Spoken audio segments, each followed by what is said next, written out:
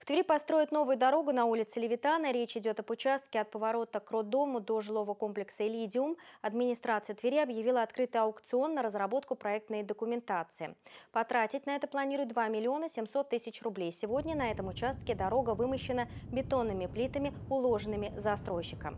Предполагается, что здесь появится магистральная автодорога с тротуаром и расчетной скоростью движения до 70 км в час.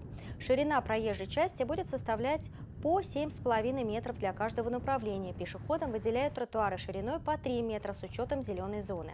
Также в проекте должны предусмотреть одну велодорожку шириной в 3 метра. Проект должны разработать до 18 ноября. И, вероятнее всего, уже в следующем году от работы на бумаге дорожники перейдут к работе на земле.